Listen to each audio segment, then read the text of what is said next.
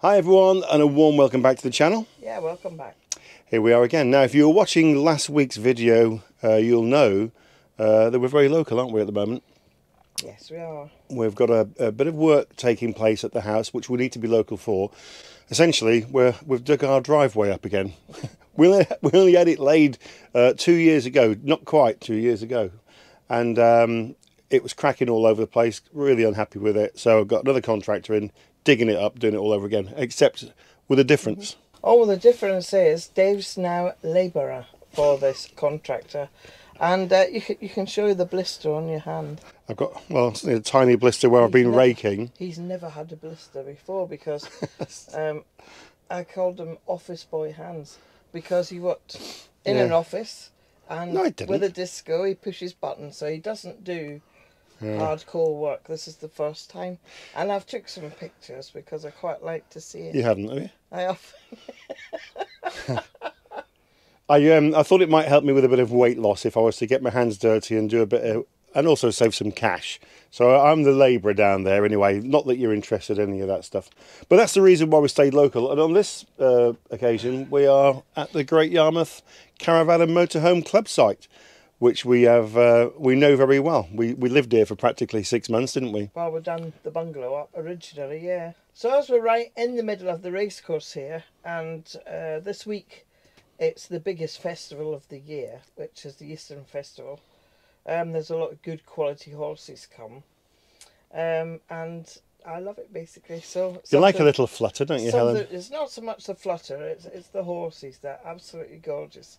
Um, they're usually we get class four, five, six, and these are maybe one, two, and three. Yeah. So anyway, how did you get on day one with your betting? The breeding is fantastic. How did you get on yesterday with your betting? I didn't. Um, it wasn't very good yesterday, but it could pick up today. I'm down there uh, labouring, uh, busting my backside to try and save a few pounds, while Helen's here at the caravan, losing my shirt on the races. No, I didn't. Yeah, yeah I only did. bet. You did. It's about seeing the horses and things for me. Yeah. So a little bit about the Great Yarmouth and Caravan Home Club site. I'm going to put a map up and we're going to give you a little walk around here. They're all grass pitches on here, aren't they? There's no, no full service, no hard standing. Uh, the facilities here, though, in terms of uh, toilets and showers, etc., uh, although they're a little bit old, they are extremely clean and the water's nice and hot. standard for uh, Caravan Home Club, yeah. They are, yeah. Uh, very close to, to the beach, which is kind of that way for us. And uh, if you go in the car, you'll be there in two minutes. If you were to walk it, it's probably about 10 minutes. Bus stop just outside the gate, isn't there? So this is where we're pitched. And uh, Helen's got a lovely grandstand view of the grandstands at the racecourse here at Great Yarmouth. But this is where we are pitched. Now, we did have the awning out earlier in the week, or the sun canopy, should I say. But the, uh, the winds got right up. It got very, very windy. So uh, that had to be put away for safety's sake and it's a busy site at the moment because of the race meeting. Well, we certainly haven't seen much sunshine over the last few days. It's been rather wet and windy here at Great Yarmouth, but uh, that's pretty par for the course when there's a race meeting on here. I've not been to many race meetings where the sun's shone and it's been a lovely hot sunny day, uh, but we are into sort of mid-September, aren't we? But we're geared up here at the racecourse for a three-day race meeting called the Eastern Festival, one of the most popular meetings here at Great Yarmouth and uh, as a result of that the caravan and motorhome club site is full. And I've not seen it full too many times this year as I've drove past because we really are on our doorstep here. Um, but it is really full. Not sure you'll make it out in the background there but there's the horses are in the stables. There's a load of horse boxes arriving today for day two of the racing. Anyway let's have a little walk around the campsite because I know that's the bit that you're particularly interested in so this is the main entrance in and uh, you have to actually cross the racecourse to get into Great Yarmouth Caravan and Motorhome Club.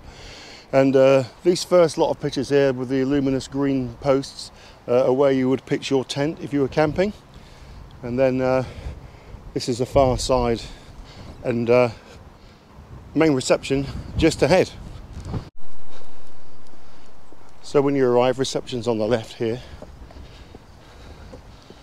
little information hut here as well.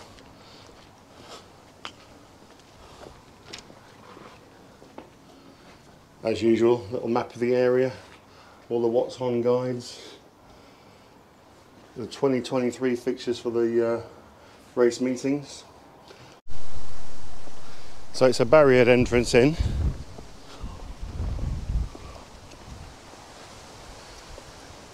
And it is liter- literally a loop here. All grass pitches, as I say, 16 amp electric hookup.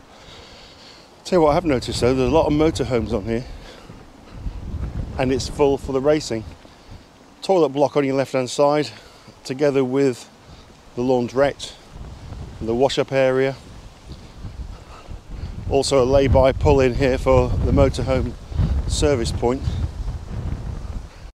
Ladies' toilets and showers down this end, and then the laundry room in here. So I've got a couple of washers, a couple of dryers, and um, tokens only from reception. And these sinks are also for clothes washing only.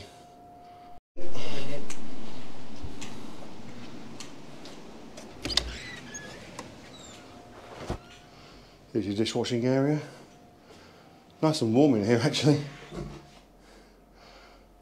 And also very clean. We'll say one thing about this site, the facilities here are very good and also extremely clean. Shower blocks and the gents toilets really clean and tidy. What you've also got here at Great Yarmouth at the far end is the Great Yarmouth and Caister Golf Club. So if you are a golfer and you want to bring your clubs with you on holiday, in fact, I think you can hire clubs from here. You can certainly go and pay a green fee and uh, enjoy one of uh, the country's oldest links golf courses. I've played it a few times in, well, years ago. It can be quite challenging, but it's also really interesting. So I'll quickly whiz around here and show you around this bit. Come on.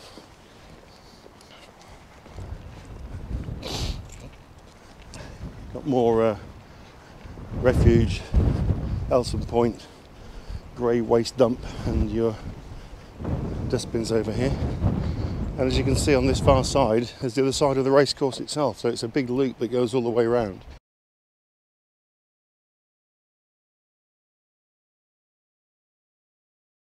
Uh, literally outside of the main gates of the site is a bus stop and, and the bus route takes you up and down Great Yarmouth Seafront so that's really useful.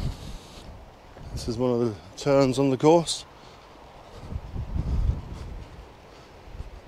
That's called Jellicoe Road over there.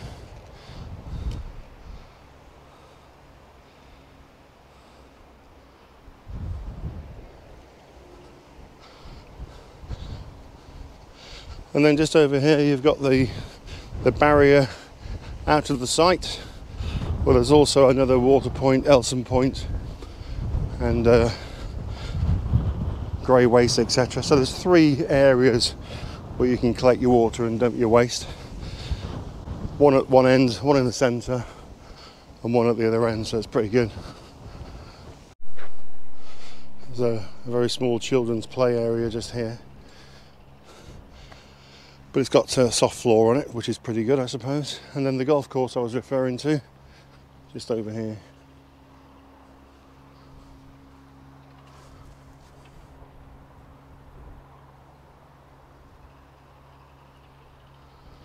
And right next door, actually, you've got the Haven Holiday Park at Seashore in Great Yarmouth, one of the largest holiday parks in Great Britain.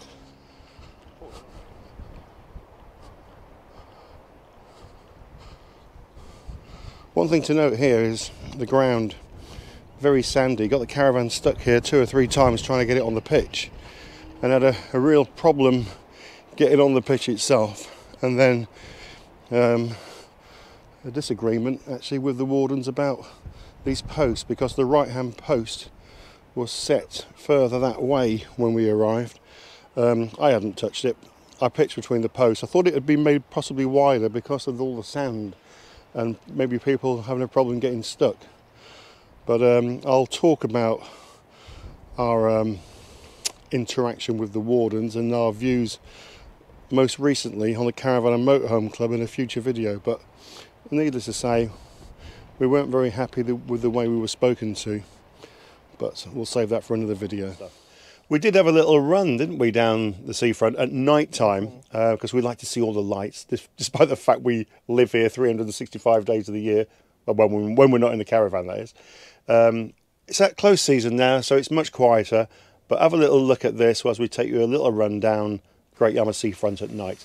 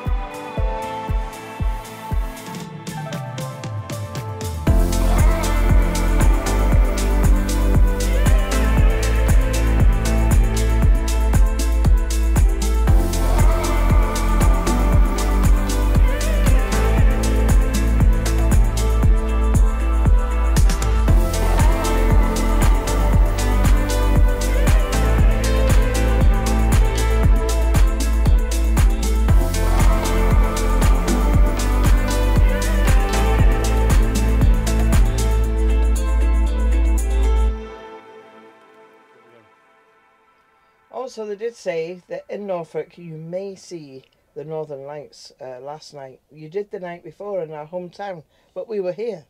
We were here, but uh, some friends of ours managed to cap some pictures. So I'll just put some pictures on for you now to have a look at this from Caister Beach, which was fantastic. I think they were pretty visible all over the country, to be fair. So what a great time for a photographer to be out capturing it. But not me. I was sleeping off all the hard work that I've been doing. Oh, you'll get over it. I will. Um, the the arrival here was rather interesting. I, I did get some dash cam footage, but I'm not going to put it on um, because when we arrived, I noticed that the caravan in front, um, uh, well, it wasn't in one piece. Frankly, was it? And I did say to Helen, just just capture a little picture of that because I'm not sure that the fella in front is aware that the back end of his caravan's hanging off. And then when you went to check in, you actually spoke to the lady who owned that They caravan. know, no. They had no they idea. They had taken it down the seafront because they were early and you can't get into one, as you know. And um, sounds like they may have hit a, a bench seat which was on the side of the road. don't know how you hit a bench seat on the side of the road, but they did say they heard a bang, They but they didn't feel any anything. Yeah. But well, I suppose the, the the sad bit about that was that wherever they travel from, two or three hours, who knows, for their holiday here in Great Yarmouth, um, had they been able to get on the site you know, they that probably wouldn't have happened. It's not the Caravan and Motorhome Club's fault. I mean, they wanted to kill a bit of time, went down the seafront, come back, back end of the caravan. I don't think I'd take it down the seafront, would you? No, because it's actually busy. it's busy, and actually the road is quite narrow, and there's lots of little mini roundabouts that they've put in now, and what have you. So if you come into Yarmouth and need to kill some time before you can get on here, don't drive your caravan down the seafront. Would be my recommendation. We felt very sorry for them. Uh, just goes to show, though, when you look, because you can't see the side of the caravan here, because the side was very damaged, and you could see actually through the side of the van into all the mm. insulation area, and just makes you realise there's really not a lot to these vans. no, you know, it had flipped up, hadn't it? yeah, Right, yeah. Right, what you got there, Helen? Right, we've got a little giveaway for you. Ooh. It's a little bag. Uh, we can take shopping. Mm. It's not any old bag, though, is it? It's a Helen and Dave Caravantastic bag. Mm. So you're going to give that away, are you? Yes. That's very kind of you. Okay, so in order to win this um, exclusive collector's item, uh, then all you have to do in the comment below is just tell us the name. This is all we want to know. We don't want any elaboration. The name of the campsite that we stay at when we go to watch all those lovely American aeroplanes. Um, I'll give you a clue. It's in Suffolk. And if you're a regular here, you'll know we go about four times a year. Yeah. Um, so, what's the name of the campsite that we go to to watch the aeroplanes in Suffolk, all the American planes? Put it in a comment below, just the name, and then what we'll do, we'll um, we'll probably end up writing everyone's name, putting it in a hat, and then pulling it out one out, because yeah. um, Helen's and I are not that good when it comes to all the technical bits. You can get you can get No, names on screen. I can't do all that. We'll keep it simple. Keep it simple. Yeah. yeah. And uh, and then we'll let you know and get your name and address and post it to you. I can't believe how many subscribers we've met in the last two trips that we've been on. In fact, the first one, uh, Glyn. I'm going to say hello to Glyn. In fact, I've got a little picture of Glyn here. I was watching the caravan on the drive, like like I do on a regular basis. Car pulled up, beep beep beep beep beep beep. No specs on, so I can't see the bottom of the drive very clear. So I thought it must be someone I know. So I just waved and said, "Oh yeah, you're right." Uh, and he said, "You don't know me." I thought, "How embarrassing!" Uh, went down the drive and um, met a guy called Glenn. And Glenn, if you're watching, thanks for your support. Who else we bump into on this site? It was John and Tina. John and Tina. Now we've actually bumped into them twice. We were driving up the A1 to York earlier this year when a car pulled up alongside. and We're doing about 55 miles an hour, peeped, and they gave us a wave. And it was John and Tina. Lo and behold, they were here on their holes, weren't they, at this site? They were very, very generous. Yeah, I can't believe in exchange for one of our stickers, and I know they are collectible. What have- I got eight bottles of Ghost Ship and a box of fudge from John and They Tina, did. Thank you very which is much. extremely, extremely kind of you. Thanks very much. You know they were both. Well, the fudge is already gone. That was gone the same within the hour. Bella ate some actually. Yeah, I don't know she shouldn't be having fudge. It's bad for her teeth. And also, um, yeah, I enjoyed a couple of Ghost Ships because I've been working hard and they've gone down well. Thank you Oh, very much indeed. to hear the end of this. Did I tell you I've been working hard? No. Thank you, John and Tina, for those ghost ships.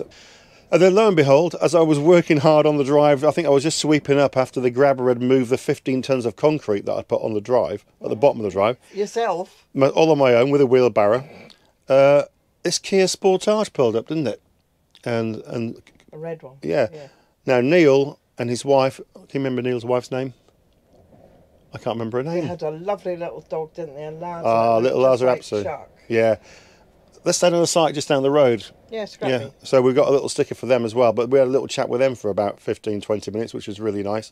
They watched the channel as well. So lovely to meet all of you and say hi. And, um, and uh, we, we never met, but it's like we know you, and it's like you know us, which is really lovely, isn't it? So thanks to those guys, really nice. Uh, after the drive's done, we've actually got a few different sites to, to visit, haven't we? We have, yeah. Some in Suffolk, some in Norfolk. Yeah, we, the, the travels continue. See, we can't get the caravan back on the drive for a, a good sort of couple of weeks. Yeah. We need to make sure it's all all the concrete's dried and settled, etc. So we're just going to stay on our on our travels, really, That's aren't we? That's a good excuse just to go and venture, isn't it? Any excuse to get out in the van. Yeah. Can I say, Helen, you're looking a bit windswept this morning. Well, we've been out in the wind. 50 mile an hour winds. Well, it's so windy. It's up to 42 here yesterday, and it's got to be a similar day today, I think. Yeah, and we have got an extra video coming out on Sunday. Look out for that at half past four. It's just a little short one, but one I think you might be interested in. As I always say, if you have been, thank you for watching. Don't forget to hit the subscribe button, give us a thumbs up, The notification bell lets you know when all the videos are coming out. And please leave a comment because we love them and we answer every single comment that we get. And leave a comment about that bag if you want to win the bag. Yeah. Don't forget, what's the name of the campsite we stay at in Suffolk to watch all the aeroplanes from? That's it for now. Yeah. See you in the next one. Take Bye-bye. care. Bye bye.